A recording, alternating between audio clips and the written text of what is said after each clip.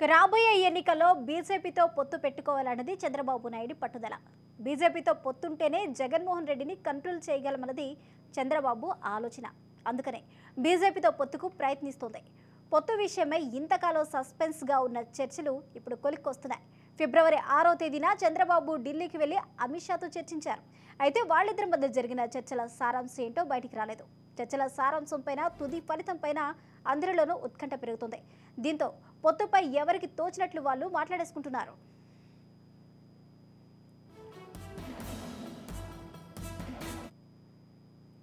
ఎందుకంటే ఫిబ్రవరిలో అమిత్ షాతో చంద్రబాబు భేటీ తర్వాత మళ్ళీ ఎలాంటి డెవలప్మెంట్ జరగలేదు. అందుకనే రకరకాల ఊహాగానాలకు అవకాశం ఇచ్చినట్లయింది. సడన్గా చంద్రబాబు పవన్ కళ్యాణ్ రమ్మని ఢిల్లీ నుంచి పిలుపు వచ్చింది. అవసరమైతే రెండు రోజులు ఢిల్లీలోనే ఇద్దరు కూర్చొని సీట్ల సంఖ్య నియోజకవర్గాల్లో ఫైనల్ చేసుకుని వస్తారని ప్రచారం పెరిగిపోతుంది. ఇక్కడ విషయం ఏంటంటే బీజేపీ టీడీపీ పొత్తు కుదరాలి అంటే ముందు టీడీపీ ఎన్డీఏలు చేరాలి.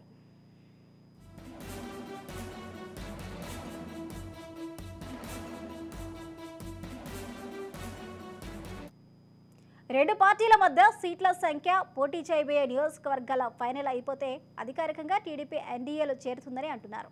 టీడీపీ ఎన్డీఏలో చేరిన తర్వాత పొత్తులో మూడు పార్టీలు పోటీ చేసే సీట్ల సంఖ్య నియోజకవర్గాలను ప్రకటిస్తారని సమాచారం. ఇదంతా రెండు మూడు రోజుల్లోనే అయిపోతుందని కూడా పార్టీ వర్గాలు చెప్తున్నాయి. టీడీపీ వర్గాల సమాచారం ప్రకారం బీజేపీకి టీడీపీ మ్యాక్సిమం పదిహేను అసెంబ్లీలు ఆరు పార్లమెంటు సీట్లు కేటాయించే అవకాశం ఉందట.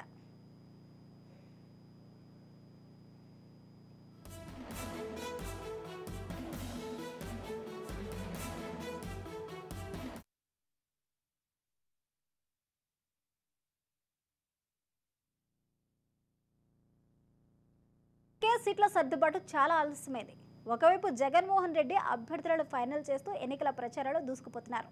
మార్పుల అవసరం అనుకున్న డెబ్బై నియోజకవర్గాల్లో కొత్త అభ్యర్థులను ప్రకటించడంతో పాటు కొన్ని నియోజకవర్గాలకు ఎమ్మెల్యేలను మార్చేశారు.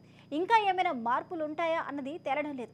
ఒకవేళ అభ్యర్థుల మార్పులు చేర్పులు అయిపోతే నూట ఐదు నియోజకవర్గాల్లో సిట్టింగులకు టికెట్లు ఖాయమైపోయిందనే అనుకోవాలి. మరి చంద్రబాబు పవన్ ఢిల్లీ టూర్ తర్వాత పరిణామాలు ఎలా ఉంటాయో చూడాలి.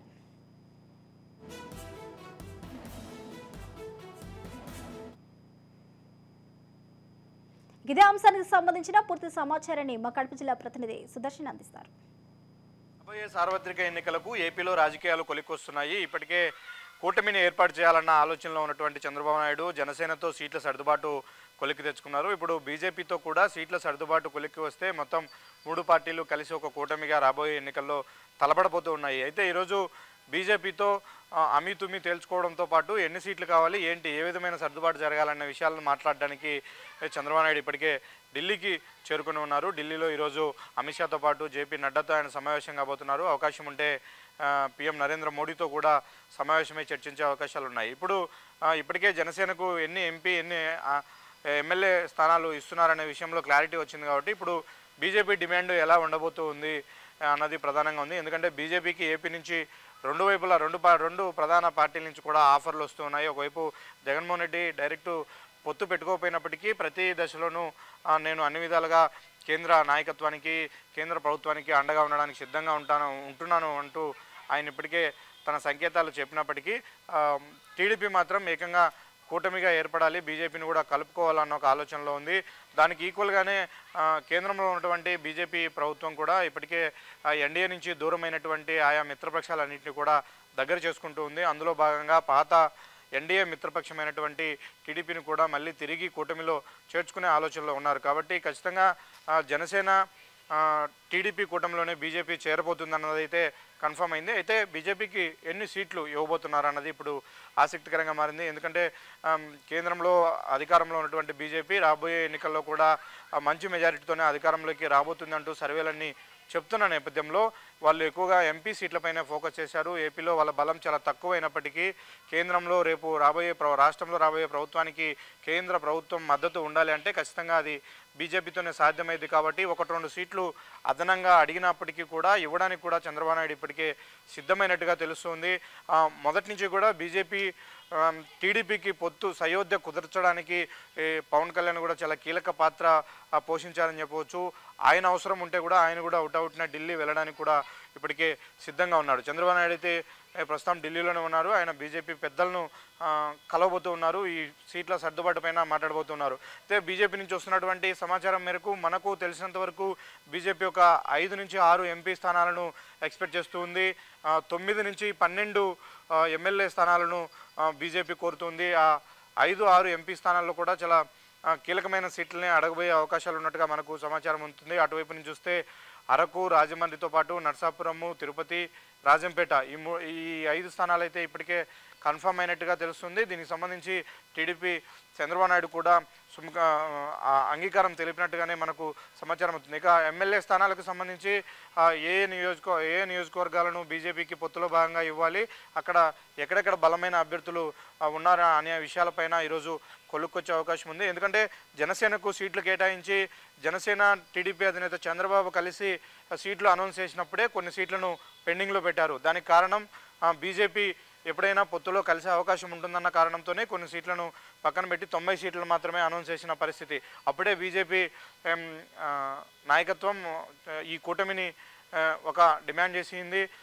మాకు ఒక పది పదిహేను అసెంబ్లీ స్థానాలు కావాలి ఆ- ఆరేడు ఎంపీ స్థానాలు కావాలి కాబట్టి వాటిల్లో వన్ ఇస్ టు త్రీ రేషియోలో మాకు ఒక లిస్ట్ ఇవ్వండి అంటూ కూడా బీజేపీ రాష్ట్ర నాయకత్వాన్ని బీజేపీ ఢిల్లీ నాయకత్వం అడిగిన సందర్భంలో వాళ్ళు కొన్ని సీట్లను కోరుకున్నారు. ఆ సీట్లన్నీ కూడా పక్కన పెట్టి మిగిలిన పార్లమెంటు అసెంబ్లీ సీట్లను చంద్రబాబు నాయుడు పవన్ కళ్యాణ్ కూటమిగా కలిసి ఇద్దరు ఒకేసారి మీడియా ముందు అనౌన్స్ చేసిన పరిస్థితి. ఇప్పుడు ఈరోజు జరిగే చర్చలతో ఈ కూటమి ఒక కొలిక్కి వచ్చే అవకాశం ఉంది. బీజేపీ జనసేన టీడీపీ కూటమి ఫైనల్ కాబోతుంది. బీజేపీకి ఇచ్చే సీట్లపైన ఈరోజు చర్చ జరగబోతుంది ఆ సీట్లు సర్దుబాటు అయిన తర్వాత పూర్తి స్థాయిలో ఈ కూటమి ఎన్నికల ప్రచారంలో కూడా తలమునకలయ్యే అవకాశాలు కనిపిస్తున్నాయి. ఇక రాజధాని విషయం రాబోయే ఎన్నికల్లో చాలా కీలక పాత్ర పోషించబోతుంది. రాజధానికి సంబంధించి ఇప్పటికే బీజేపీ నాయకత్వం ఖచ్చితంగా అమరావతి రాజధాని అంటూ పలు సందర్భాల్లో చెప్పారు కాబట్టి ఈ కూటమి ఓకే అయితే మాత్రం రాబోయే ఎన్నికల ప్రచారంలో రెండు మూడు సభల్లో నరేంద్ర మోడీ కూడా పాల్గొనే అవకాశం ఉంది.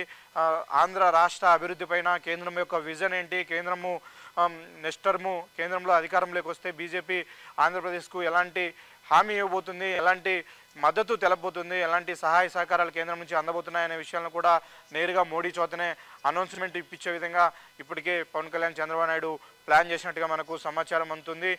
వీళ్ళిద్దరితో పాటు బీజేపీలో ఉన్నటువంటి అగ్రనేతలు కూడా ప్రచారంలో పాల్గొని వీళ్ళు ముగ్గురుకిన ఒకే వేదిక పైన వేదిక పంచుకొని జనాన్ని ఉద్దేశించి మాట్లాడితే మాత్రం రాబోయే ఎన్నికల్లో ఒక పాజిటివ్ రెస్పాన్స్ ప్రజల నుంచి ఉంటుంది. ఖచ్చితంగా తమ కూటమి అధికారంలోకి వచ్చే అవకాశాలు ఉంటాయని ఈ మూడు పార్టీలు భావిస్తున్న నేపథ్యంలో ఈరోజు చంద్రబాబు నాయుడు ఢిల్లీలో చేసే చర్చలు చాలా కీలకంగా మారాయి. చూడాలి మరి ఇన్ని రోజులు ఊరిస్తూ ఊరిస్తూ వచ్చినటువంటి ఈ పొత్తు విషయానికి సంబంధించి బీజేపీ ఎలాంటి డిమాండ్లు పెట్టబోతుంది చంద్రబాబు నాయుడు దాటిని ఎంతవరకు అంగీకరిస్తారు? ఫైనల్గా కూటమి ఏర్పడుతుందా? లేకంటే బీజేపీ ఓన్గా పోటీ చేస్తుందా? లేకంటే ఇంకేమైనా ప్లాన్స్ ఉన్నాయా అనే విషయాలు అయితే ఈరోజు రాత్రికి ఖచ్చితంగా క్లారిటీ వచ్చే అవకాశాలు కనిపిస్తున్నాయి. వీడియో జర్నలిస్టు రంగాతో సుదర్శన్ రెడ్డి రాజ్ న్యూస్ కడప. ఇక టీడీపీ బీజేపీ పొత్తుకు సంబంధించిన పరిణామాలపై తాజా సమాచారాన్ని మా ప్రతినిధి స్వప్న అందిస్తారు. స్వప్న. స్వప్న మొత్తానికైతే ఇప్పుడు టీడీపీ తిరిగి ఎన్డీఏ గూటికి వెళ్తుందా అంటే వెళ్తుంది అనేటువంటి మాట ఎక్కువగా వినిపిస్తుంది. బీజేపీ నాయకులు ఆ దిశగానే సంకేతాలు ఇస్తున్నారు. ఇటు టీడీపీ జనసేన నుంచి కూడా ఆ సంకేతాలే అందుతున్నాయి. మొత్తము ఇప్పటి వరకు అంటే నూట డెబ్బై ఐదు అసెంబ్లీ ఇరవై ఐదు పార్లమెంటు స్థానాలకు పోటీకి ఆంధ్రప్రదేశ్లో ఆల్రెడీ నాయకులు తమ తమ అభ్యర్థుల్ని రంగంలోకి దించుతూ ఎవరు ఏం చేయాలి అనేది వాళ్ళు చేస్తూ వస్తున్నారు. అయితే ఈ క్రమంలో జనసేనతో టీడీపీ పొత్తు ఖాయమైన తర్వాత బీజేపీ పరిస్థితి ఏంటి అనే దానికి సంబంధించి కొన్నిసార్లు మనం ఇండిపెండెంట్గా వెళ్తామా లేదా ఇంకా పొత్తు ఉంటుందా ఏంటి అని అనేక ఊహాగానాలు అయితే నడిచాయి. ఆ మధ్యకాలంలో చంద్రబాబు ఢిల్లీకి వెళ్ళడము అమిత్ షాతో చర్చించడము నడ్డాతో కలవడము ఈ వీటి వల్ల నిజంగానే బి- టీడీపీతో పొత్తు ఉంటుంది అనేటువంటి ఊహాగానాలు మధ్యలో వినిపించిన ఆ తర్వాత మళ్ళీ అలాంటిది ఏం లేదు. జనసేన ఎన్డీఏలో భాగస్వామిగా ఉంది కాబట్టి